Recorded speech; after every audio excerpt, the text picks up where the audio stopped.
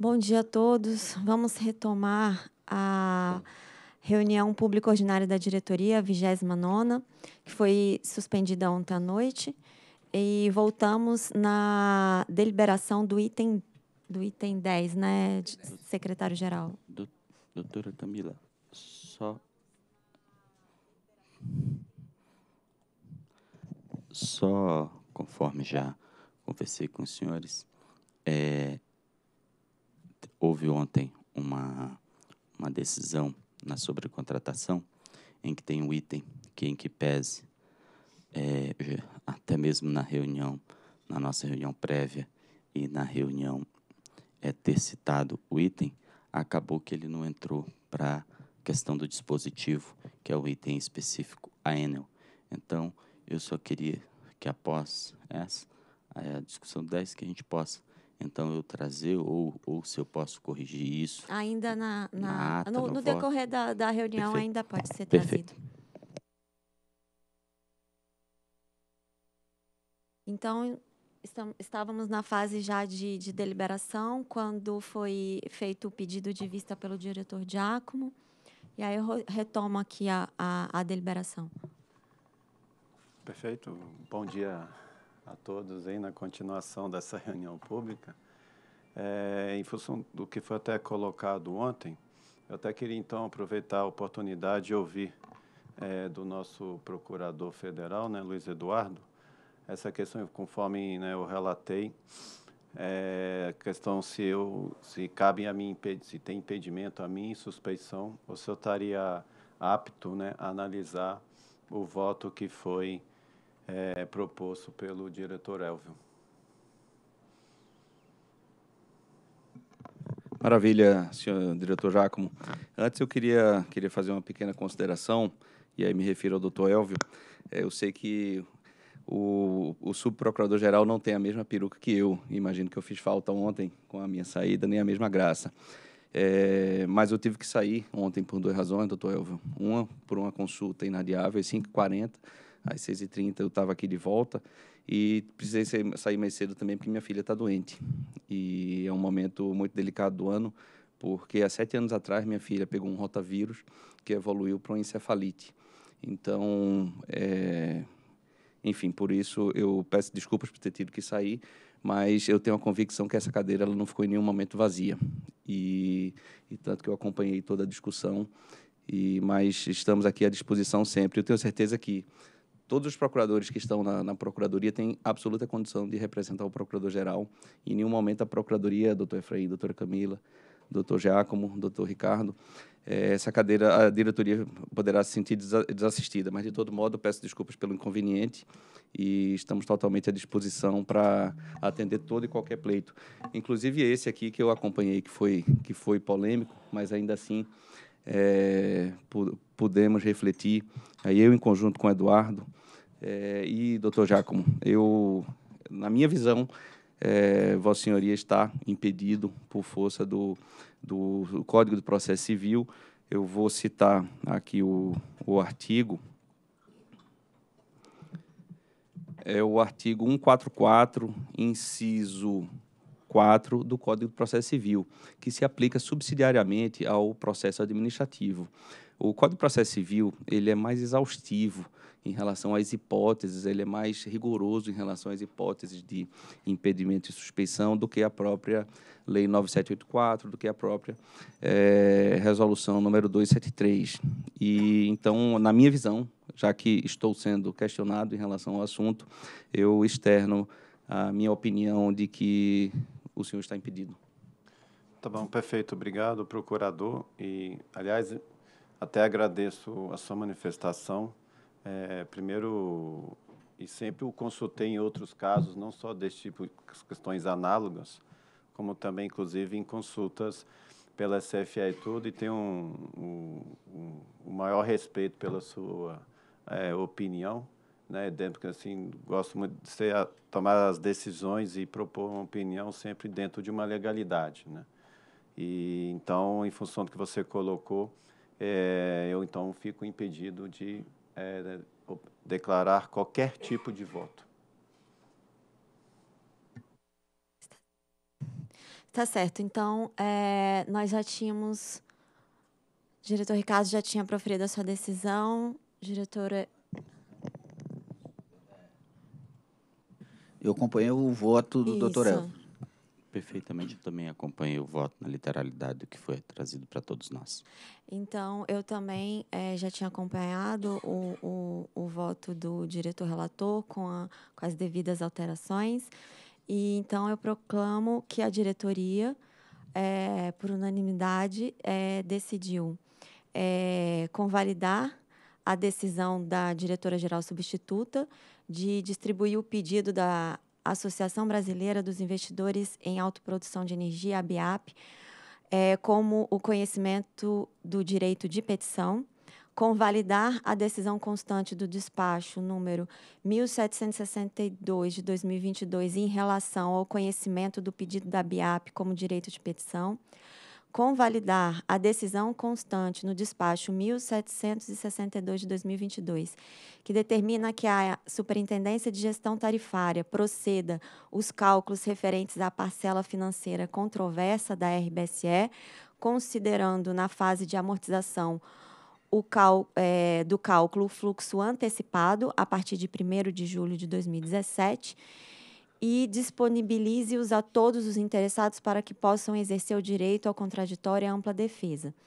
Negar a medida cautelar pleiteada pela BIAP para suspender a eficácia da resolução homologatória número 2258 de 2017 e não convalidar as demais decisões constantes no despacho 1762 de 2022.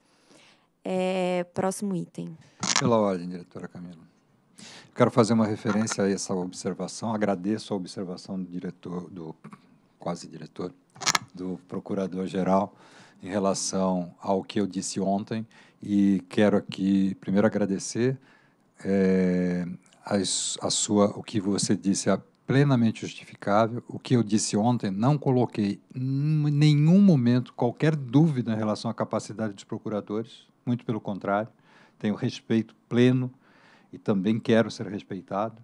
Então, eu quero dizer que não há nenhuma dúvida em relação à capacidade, mas eu volto a dizer, eu acho que é muito importante que a presença dos procuradores, seja o procurador-geral, seja o seu substituto, seja permanente nessa reunião e sempre é muito importante, porque, como foi feito agora, né, é, conduz né, e, e ajuda a conduzir as nossas decisões aqui. Então, eu agradeço a sua manifestação e reafirmo, não há nenhuma dúvida em relação à competência e capacidade dos procuradores que atuam na ANEL. Bom dia a todos.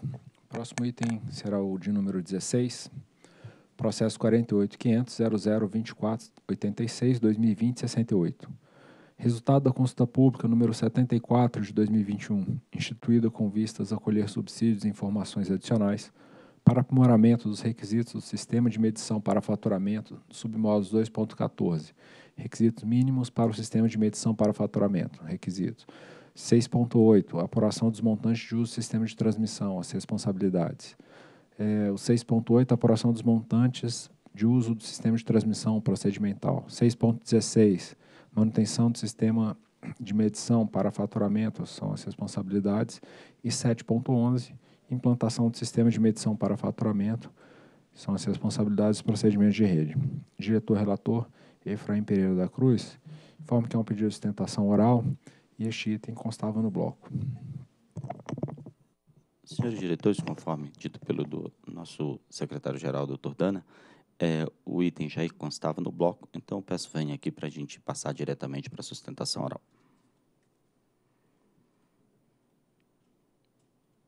E peço também, doutor Dana, que a Secretaria-Geral solicite que o superintendente da SRT é, esteja aqui conosco. Perfeito, diretor. Então, é, um vídeo de sustentação oral, ele será apresentado pela senhora Tatiane Moraes, representante da, do ONS. Doutor Leonardo acaba de chegar.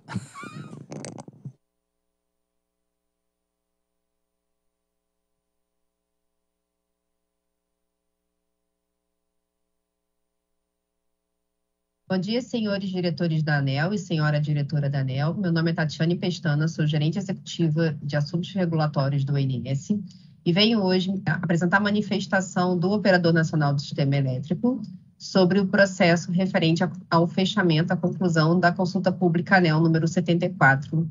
Sobre esse processo regulatório em especial, o INS tem algumas considerações. Desde o período eh, da reestruturação dos procedimentos de rede, o INS identificou e levou ao conhecimento da ANEL um conteúdo que não deveria mais constar nesse arcabouço regulatório, em especial nos submódulos relacionados ao tema do sistema de medição por faturamento, tais como responsabilidades e prazos estabelecidos para a CCE, atividades entre os agentes e a CCE, prazos estabelecidos para atividades entre os agentes acessados e acessantes sem gestão do INS e comandos relacionados à responsabilização dos agentes por custos de obra, implantação e manutenção de sistemas de medição para faturamento. À época, essas propostas de ajuste não foram acatadas no processo de reestruturação dos procedimentos de rede, por se tratarem de alterações de mérito. A, conforme premissa adotada nesse projeto de reestruturação, as alterações de mérito não seriam realizadas à época da reestruturação dos procedimentos de rede, e sim tratadas em outros processos regulatórios específicos. A ANEL inseriu atividade na agenda regulatória 2122 para tratar do aprimoramento dos requisitos de instalação do sistema de medição para faturamento nos procedimentos de rede, para tratar especificamente de análise de exceções e convidou a ONS a participar de grupo de trabalho e contribuir na elaboração de nota técnica específica, trazendo as questões relacionadas ao sistema de medição por faturamento. A ANEL abriu tomada de subsídios, número 007 de 2021, a nota técnica elaborada com participação do INS. As questões levantadas pelo INS foram abordadas na nota técnica, exceto a realocação ou exclusão das responsabilidades da CCE e atividades entre os agentes e a CCE, estabelecidos hoje em procedimentos de rede. A ANEL compartilhou com o INS as contribuições recebidas dos agentes na referida tomada de subsídio. Após a análise das contribuições, a ANEL apresentou ao INS os pontos que teriam adequação nos submódulos. Nenhum dos itens apresentados pelo operador, aqui relatados, foram considerados. A ANEL enviou ao INS um ofício específico, número 111 de 2021, solicitando que o operador enviasse os procedimentos de rede com os ajustes para abertura de consulta pública específica. O INS, então, procedeu à revisão dos documentos e realizou uma consulta externa à sociedade com os documentos propostos e não recebeu nenhum tipo de contribuição dos agentes, respondendo ao ofício, então, com a carta ONS-DTA 2456 de 2021. E nessa correspondência, em especial, destacou todas as necessidades de exclusão decorrente dos comandos estabelecidos para a CCE nos procedimentos de rede bem como as atribuições estabelecidas para os agentes acessantes e acessados nesse mesmo arcabouço regulatório. A ANEL, então, abriu consulta pública 074 de 2021 até final de janeiro deste ano, de 2022, com os referidos submódulos e na nota técnica que acompanhou a referida consulta pública, citou todas as alterações propostas pelo INS, porém divulgou os documentos apenas com as alterações acatadas pela agência e sem as alterações propostas pelo operador, que dizem respeito a atribuições que não fazem parte do escopo de atuação do INS. Nesse sentido, venho aqui hoje, mais uma vez, pleitear que as considerações do Operador Nacional do Sistema Elétrico sejam avaliadas e apreciadas e esse conteúdo seja retirado dos procedimentos de rede e realocado no arcabouço regulatório da agência reguladora. Agradeço a sustentação oral da senhora Tatiane Moraes, representante do ONS, e peço a manifestação da Procuradoria. Senhores diretores, é, agradeço também a sustentação oral realizada. A Procuradoria não tem comentários jurídicos a fazer em relação ao tema. Senhores diretores, eu solicito aqui a nosso ilustre superintendente da SRT, doutor Leonardo, que para também se manifestar, tendo em vista a própria manifestação do Operador Nacional do Sistema, e já adianto aqui que comunguei com a, com a tese proferida pela nossa Superintendência de Regulação da Transmissão. Bom dia, bom dia a todos. Estou aqui ainda um pouco ofegante da, na corrida, mas consegui acompanhar aqui desde o início. Estava me preparando lá na SRT. Bom, é, esse assunto é, a gente discutiu bastante com o INS. Eu acho que o histórico aqui que a Tatiane, representante do INS, trouxe foi, foi bastante completo. A gente, inclusive, de forma não vou dizer inédita, mas assim, de forma bastante colaborativa, a gente preparou um material conjunto para a tomada de subsídio com o INS é, antes da consulta pública, desse fechamento da consulta pública. E existia um ponto de fato que o INS colocou, apontou para a gente lá na, na reestruturação dos procedimentos de rede, quando o INS colocou alguns conteúdos que existem no submódulo, no antigo módulo 12, que era o módulo de SMF, né, era o famoso módulo 12, é, é 12 mesmo, né, Thelma? Estou falando que é famoso, eu não posso errar o número. É, ele tem ali alguns comandos, algumas disposições, ele é, é um procedimento, né, que tratam de fato de aspectos envolvendo a CCE e até entre os agentes, agente, agente de transmissão e distribuição. E nessa discussão ficou, ficamos de tratar no futuro a reestruturação dos procedimentos de rede não envolvia de forma alguma a gente buscar é, é, retirar conteúdo e em outros aspectos, inclusive, foram a, a, identificados na época conteúdo normativo no procedimento de rede, que existe bastante, que a gente também precisaria trabalhar e, e retirar, trazendo para a normativa da ANEL. Mas aí, nesse aspecto aqui específico, então, no trabalho conjunto, já desse tema, na tomada de subsídios, na preparação, aí é um ponto que eu, eu, eu divirjo aqui da opinião da Tatiane, porque a gente tratou, sim, na tomada de subsídios esse assunto. Tanto é que se, é, recebemos contribuições, a gente só não colocou a proposta da forma que o INS sugeriu, mas de forma alguma deixou de ser tratado. E a gente fez questionamentos, a tomada de subsídios é um, é um foi feita de forma bastante aberta, colocando questões, né? então esse tema foi abordado, é, e a gente recebeu contribuições dos agentes no sentido de que não achavam que deveriam retirar, deveríamos retirar esse conteúdo dos procedimentos de rede. Na verdade, o, o módulo 12 e agora o submódulo reestruturado, ele é uma referência para o assunto de SMF, é, é, a gente tem ali uma, uma certa consolidação dos aspectos do, dos dispositivos relacionados à SMF nesse documento, e entendeu-se que a gente está falando de pouquíssimo conteúdo para a gente é, desconsolidar, né? então dispersar um, um, normativo que é procedimental para a gente, por exemplo, criar uma normativa da ANEL para colocar esse conteúdo. Não seria o caso, não seria bom para o setor. É, a gente está falando aqui de comandos que envolvem a CCE e envolvem agentes de distribuição e transmissão. Então, teria que alocar alguma coisa no PRODIST, um normativo na transmissão.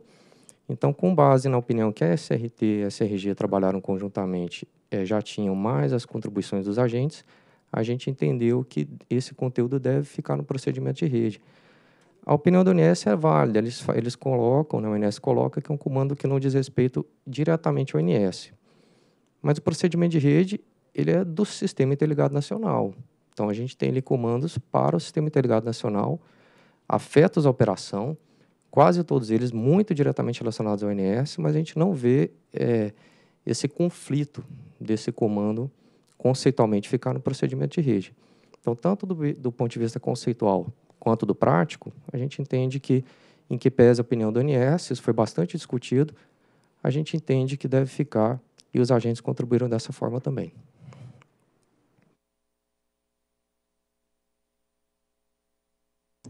Senhores diretores, feito aí esclarecimentos por parte do Dr. Leonardo, eu, em que pese a sustentação hora trazida, eu mantenho a decisão do voto e passo aqui diretamente ao dispositivo. Com apoio nessa fundamentação e no que consta no processo 48.500.2486-2020-68, voto pela aprovação da revisão 2022.08 dos submódulos 2. Caso todos, requisitos mínimos para sistema de medição para faturamento, requisitos 6.8, apuração dos montantes de uso sistema de transmissão, responsabilidades, 6.8, apuração dos montantes de uso sistema de transmissão procedimental, 6.16, manutenção do sistema de medição de faturamento, responsabilidade e 7.11, implantação do sistema de medição para faturamento, responsabilidades dos procedimentos de rede, conforme documentação constante dos autos e no sítio do operador, operador do Sistema Elétrico Nacional, ONS. Em discussão? É, eu queria é, esclarecer esse ponto. É, nós estamos incluindo, pelo que eu entendi, no, nos procedimentos de rede, é, um terceiro que é, que é a CCE, é isso?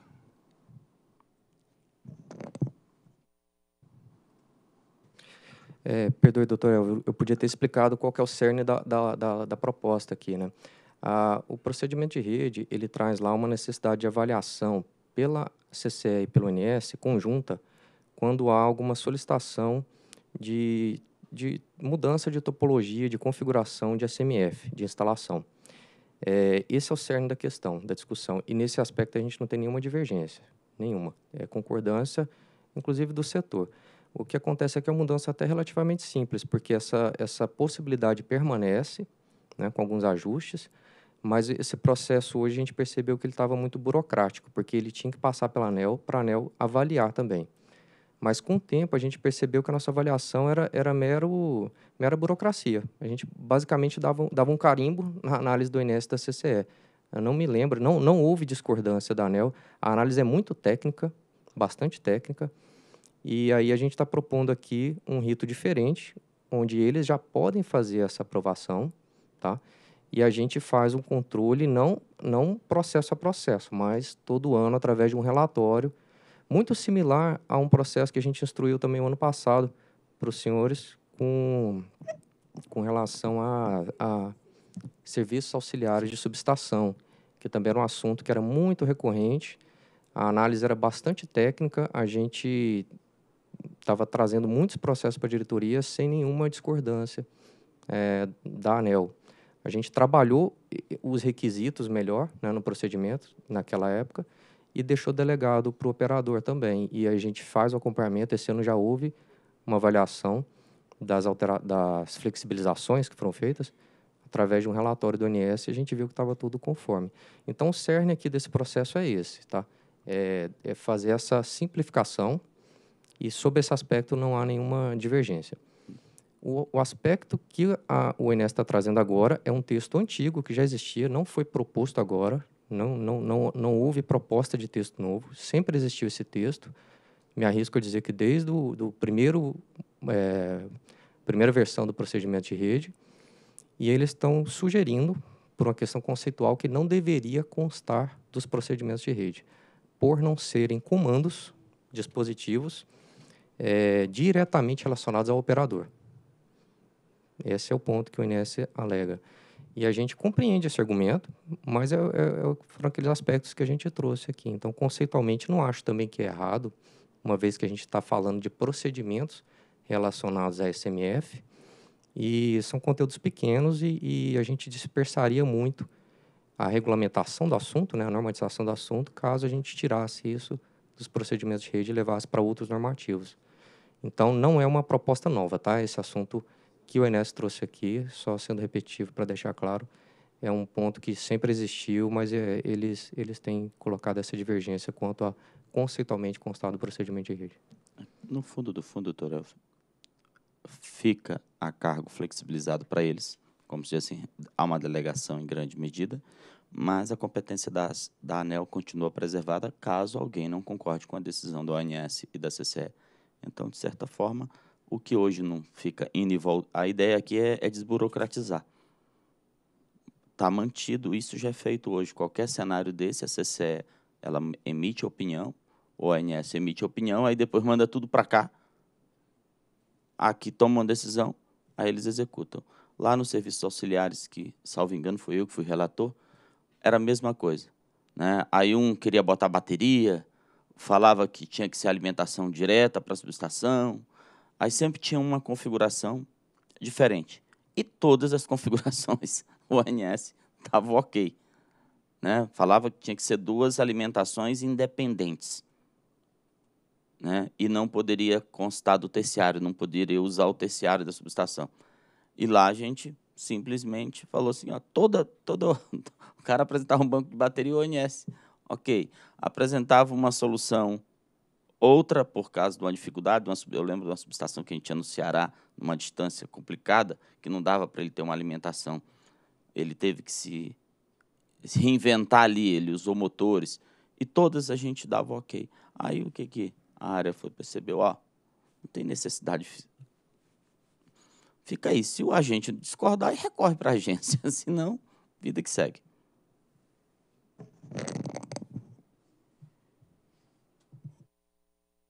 Em votação? Eu acompanho o voto do relator. Também acompanho o voto do relator. Vou pedir vista desse processo. Então, vista do diretor Elvio. Próximo item. Item 17. Não sei se o doutor Elvio está pronto para o 12. Va- Então vamos inverter. Coloca o 12. Doutor Elvio, eu preciso só fazer uma reuniãozinha, dois minutos aqui com a doutora Alexandra. Tá ok. Então, o próximo item será o de número 12. Processo 48.500.003892-2017-42 e outros.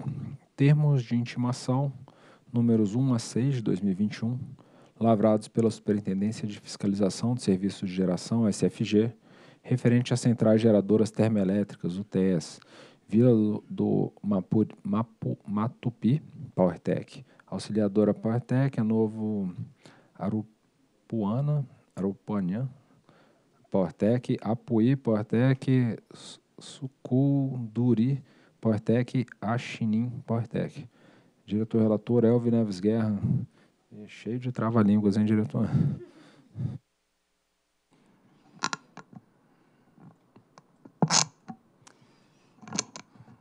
Bom, eu, eu, eu não vou repetir os nomes porque você já, já mencionou todos.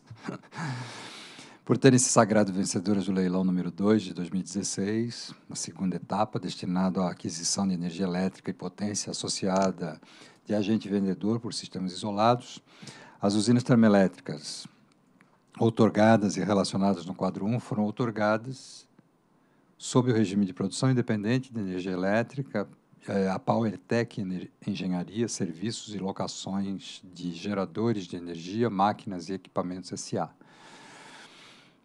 Então, aqui na, na, na- no quadro, nós temos a relação de- dos empreendimentos que foram otorgados, que participaram desse leilão.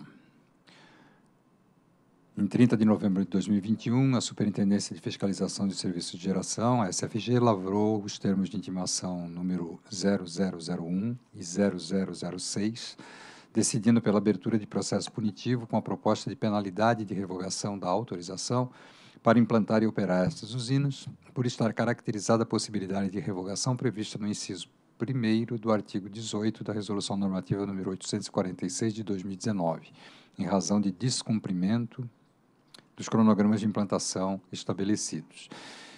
Em 27 de dezembro de 2021, a PowerTech apresentou tempestivamente a sua manifestação. Em 14 de janeiro de 2022, por meio do despacho número 106, a SFG liberou o início de operação em teste da UTE Apuí PowerTech. Em 17 de fevereiro de 2022, por meio da nota técnica número 20, a SFG recomendou o arquivamento do termo de intimação número 0006, referente a essa usina, UTE Apuí, bem como a conclusão do processo de revogação das autorizações dos demais empreendimentos. Contudo, a SFG recomendou que a, super, que a Superintendência de Fiscalização Econômica e Financeira avaliasse a viabilidade da outorga da UTE Apuí PowerTech, agora sob o aspecto financeiro e econômico, de modo similar ao que foi realizado no caso da UTE Manicoré. Paralelamente, os processos atinentes aos termos de intimação, em 2 de fevereiro de 2022, em razão de se encontrar em recuperação judicial, a PowerTech protocolou na ANEL pedido de medida cautelar requerendo que o reembolso do, do custo dos combustíveis para essa usina, a Apuí, fossem efetuados diretamente ao supridor de combustíveis.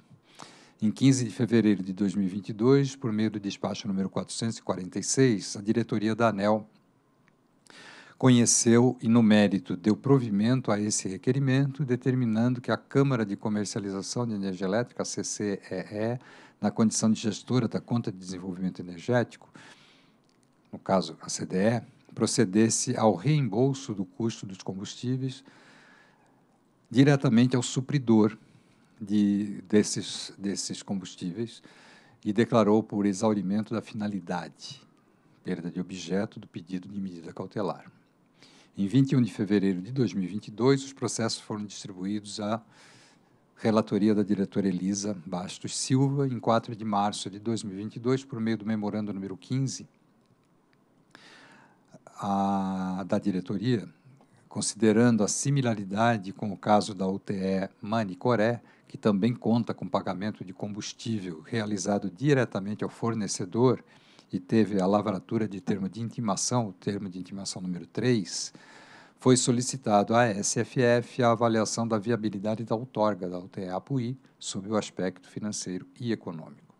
Em 18 de março de 2022, por meio do ofício número 64, a SFF solicitou à empresa que fossem encaminhadas as demonstrações contábeis de setembro de 21 a dezembro de 21, bem como de demais documentos que demonstrassem a capacidade econômica e financeira da PowerTech, da empresa PowerTech, para prestar os serviços delegados que, diante da recuperação judicial ainda não concluída, comprovassem que esse processo não geraria risco à operação da UTE Apuí PowerTech. Em 25 de março de 2022, a empresa informou que contratou outra empresa para a confecção do, de plano ou elaboração de plano de estruturação financeira e, em razão disso, requereu o prazo de até 8 de abril de 2022 para o encaminhamento de informações adicionais, o que foi acolhido pela SFF em 6 de abril de 2022 por meio do ofício número 79. Em 31 de março de 2022, por meio do despacho número 862, a SFG liberou o início da operação comercial para a UTE Apuí PowerTech. Em 8 de abril de 2022, por meio a PowerTech apresentou complementação à correspondência de 25 de março de 2022. Em 20 de abril de 2022, por meio do ofício número 57, a diretora relatora solicitou que a PowerTech apresentasse, até 30 de junho de 2022, informações que comprovassem a capacidade para retomada e conclusão das obras ou plano de transferência de controle societário dos empreendimentos, nos termos do artigo 4C da Lei 9074 de 1995. Em ambos os casos, esta manifestação deveria constar cronograma detalhado das atividades a serem desempenhadas para a conclusão da implantação dos empreendimentos. Adicionalmente, foi solicitado que a empresa demonstrasse a capacidade financeira para a conclusão das obras e manutenção das usinas termoelétricas, em análise neste voto. Em 13 de abril de 2022, foi realizada reunião virtual com a participação da diretora relatora, da SCG, da SFG, quando os representantes da PowerTech informaram do início do processo de reestruturação da companhia, do andamento das obras das usinas que ainda não entraram em operação comercial e das tratativas para injeção de capital na operação. Em 30 de maio de 2022, em razão da exoneração, em razão do fim do mandato, a pedido da diretora relatora, os processos foram a mim distribuídos ou redistribuídos. Em 30 de junho, a PowerTech encaminhou correspondência em atendimento ao ofício número 57 da diretoria da agência. Em 15 de julho de 2022, por meio do ofício número 220, a SFF solicitou informações complementares para o, o quanto ao endividamento quanto ao endividamento junto ao Banco do Brasil e ao Banco Bradesco além de informações sobre a fonte de recursos para o pagamento de seus compromissos correntes e, a, e, se as garantias prestadas junto aos bancos estão sendo executadas. A empresa não respondeu à solicitação é, que foi encaminhada por meio desse ofício. Em 20 de julho de 2022, por meio do memorando número 203, a SFF informou a Power, que a PowerTech não comprovou que possui condições econômico-financeiras sustentabilidade ao longo do tempo.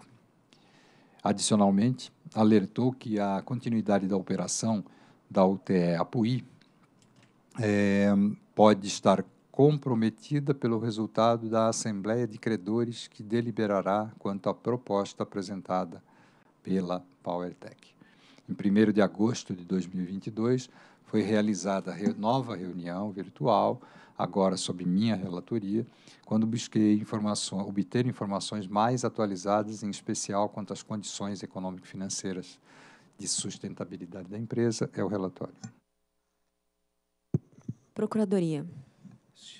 Senhores diretores, a Procuradoria não emitiu parecer nesse caso específico, porém, doutor Evo, participamos de diversas reuniões eh, sobre o tema, na verdade, ainda quando da, da UTE Manicoré e eu queria manifestar uma extrema preocupação que tivemos e que com certeza está sendo endereçada no, no encaminhamento técnico e no voto, que é a, o, o, risco que uma determinada fragilidade econômico-financeira ela apresenta para a, o abastecimento de energia elétrica nos sistemas isolados.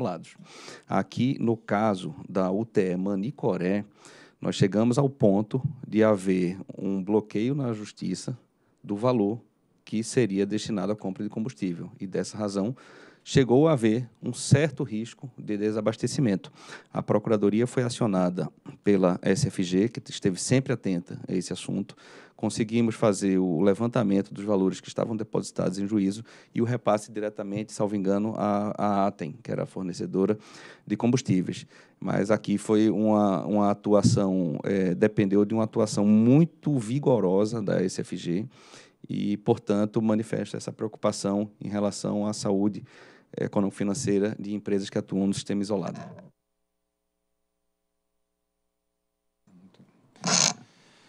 Bem, eu quero aqui é, também informar que estão presentes aqui na, na nossa reunião a superintendente Malu, da SFF, o superintendente Gentil, da SFG, é, que acompanharam esse processo.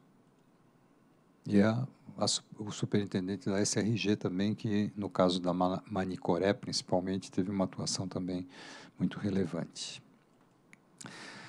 Trata-se da análise dos processos atinentes aos termos de intimação de 1 a 6 de 2021, lavrados pela SFG, quais, aos quais encaminho decisão de revogar as autorizações, as outorgas de autorização das centrais geradoras termoelétricas Vila de Matupi, PowerTech, Auxiliadora PowerTech, Nova Aripuanã PowerTech, Sucunduri PowerTech e Axinim PowerTech, acho que eu fui um pouco melhor do que o Dana, arquivar o termo de intimação número 6, que visava a revogação da outorga de autorização da UTE Apuí PowerTech e determinar que a Superintendência de Fiscalização Econômica e Financeira instaure o processo administrativo com vistas à revogação da outorga de autorização dessa usina, conforme fundamentação que passo a relatar. É, a, a, facilidade com que eu li foi tá, está relacionada aos meus 15 anos de Amazônia, então esses nomes eles faziam parte do meu dia a dia. É, em 29 de dezembro de 2020, ah, perdão, é, aqui agora trato então da, da UTE Vila de Matupi, da Nova Aripuanã, e da Sucunduri e da Chinim, todas da PowerTech.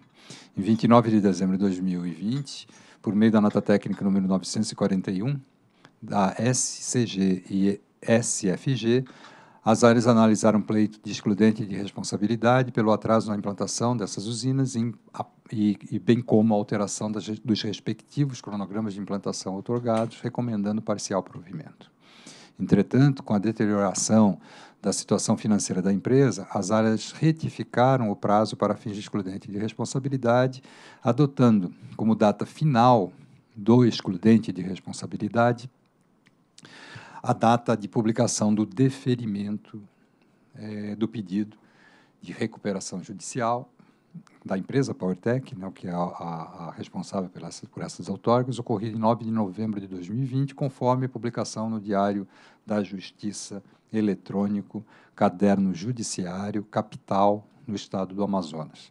Com base nessa recomendação, por meio do despacho 2049 de 2022, a diretoria da ANEL conheceu e, no mérito, deu parcial provimento ao requerimento de alteração do cronograma de implantação dessas usinas, destacando-as conforme os quadros, ou melhor, perdão, deslocando, destacados no quadro, mas deslocando-os conforme é, estão ah, discriminados nesse quadro. E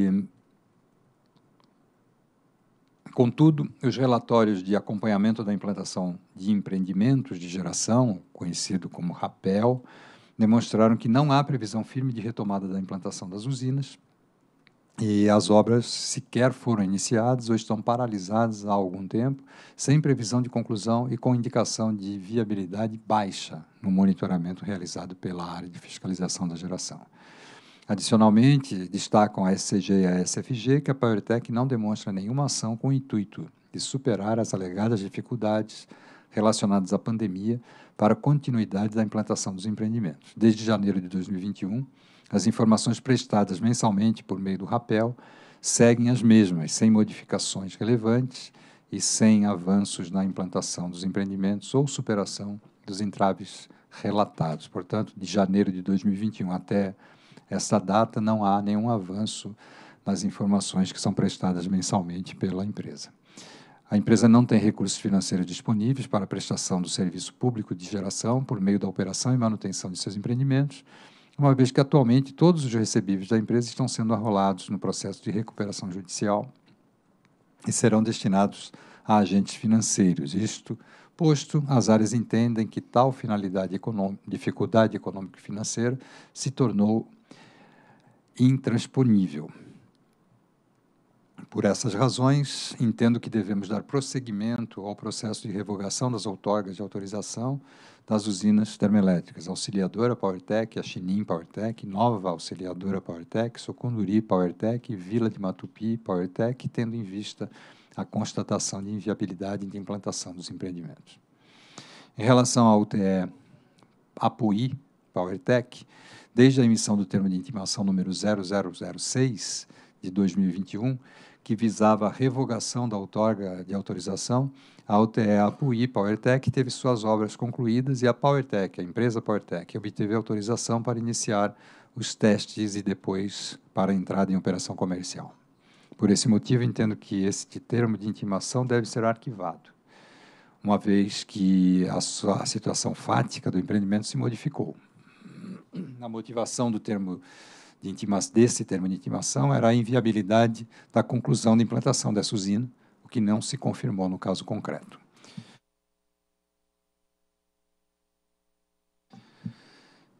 Contudo, foi identificado o ajuizamento de ação de recuperação judicial da PowerTech por meio do processo que, cujo número está no, no, na fundamentação, no qual a interessada alegou incapacidade de pagamento aos seus fornecedores em decorrência da crise mundial que se iniciou em 2017, bem como pelas grandes despesas oriundas dos leilões firmados com a Amazonas Energia e a ANEL para atuação enquanto produtor independente de energia elétrica.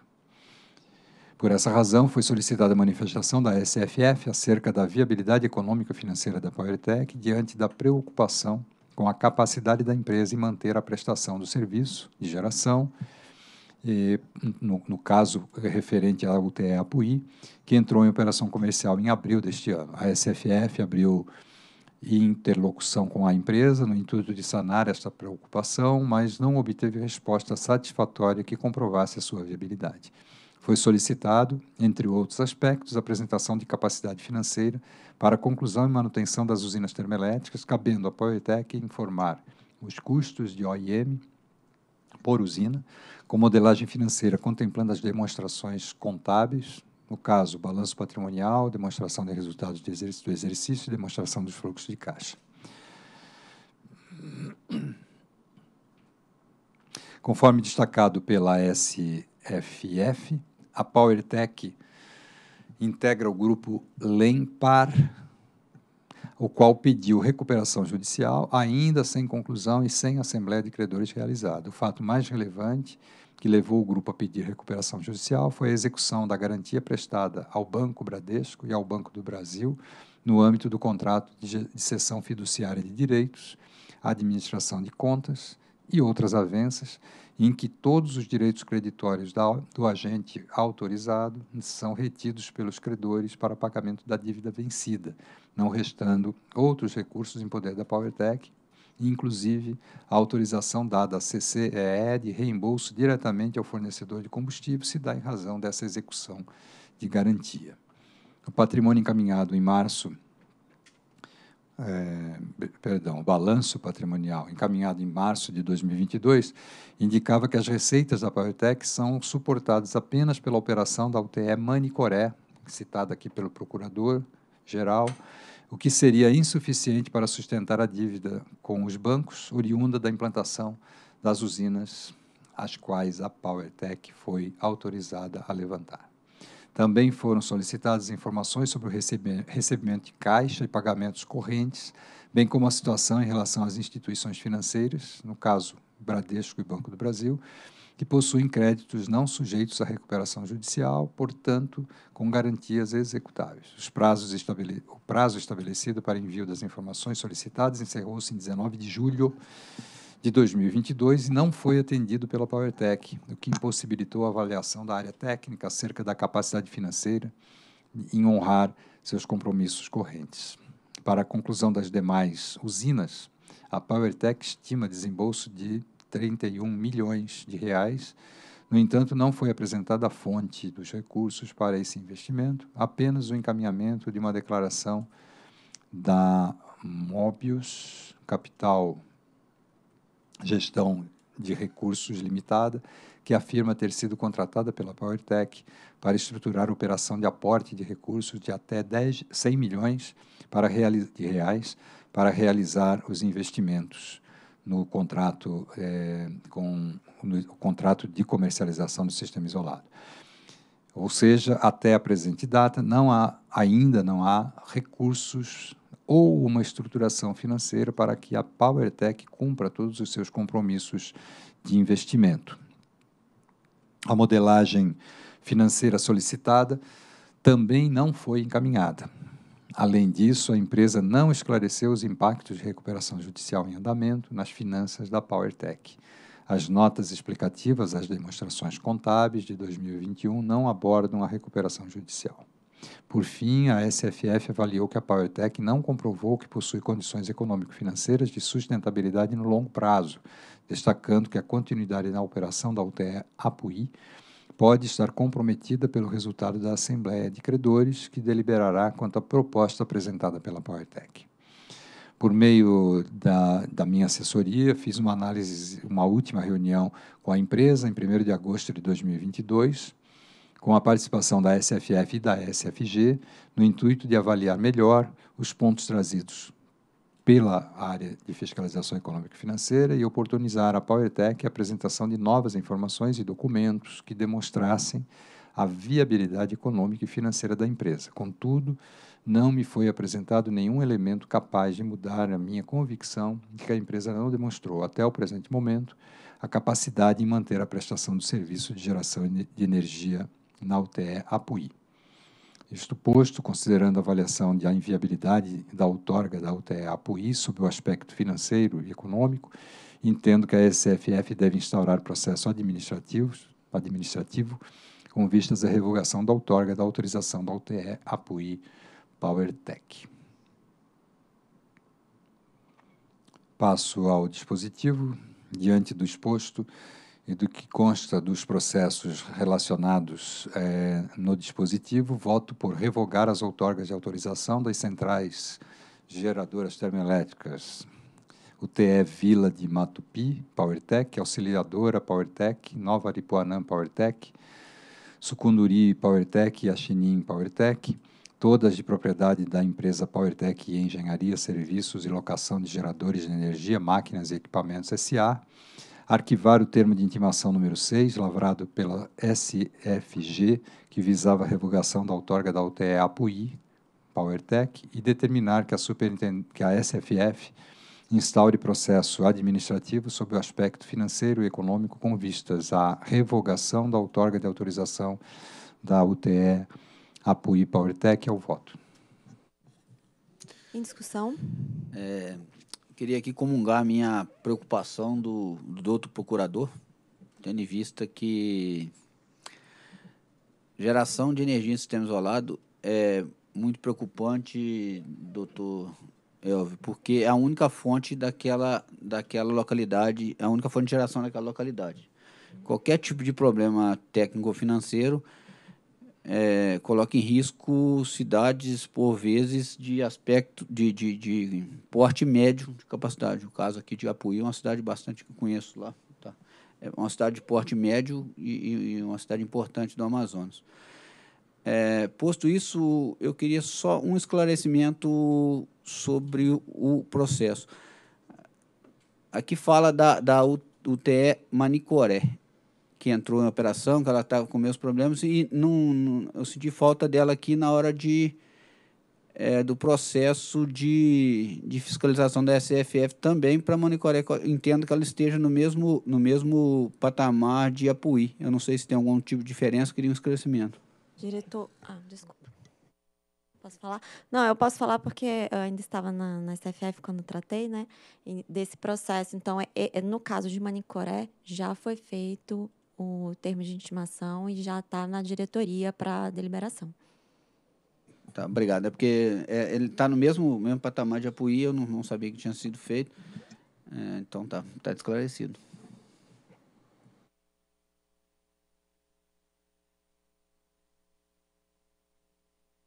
Em votação? Eu voto com o relator. Também voto com o relator. Também acompanho o voto do relator e proclamo que a diretoria, por unanimidade, decidiu revogar as outorgas de autorização das centrais geradoras termoelétricas UTS Vila de Matupi, PowerTech, Auxiliadora PowerTech, Novo Aripuanã PowerTech, Sucunduri PowerTech e Axinim PowerTech todas de propriedade da PowerTech Engenharia, Serviços Locações de Geradores de Energia, Máquinas e Equipamentos, arquivar o termo de intimação número 6 de 2021, lavrado pela Superintendência de Fiscalização dos Serviços de Geração, SFG, que visava a revogação da outorga de autorização da UTE Apuí PowerTech, e determinar que a superintendência... Só um minuto, saiu aqui da, da minha leitura. e determinar, obrigada, diretor, e determinar que a Superintendência de Fiscalização Econômico-Financeira instaure processo administrativo sob o aspecto financeiro e econômico, com vistas à revogação da outorga de autorização da UTE Apuí PowerTech. Próximo item. Diretora-geral, os demais itens foram retirados da pauta pedido do relator, de forma que não há mais itens a serem deliberados. Está Certo. Então, enfim, vamos encerrar essa reunião pública ordinária de, da diretoria. Agradeço a todos, especialmente aqueles que nos acompanharam desde de ontem. Muito obrigada. Boa semana a todos.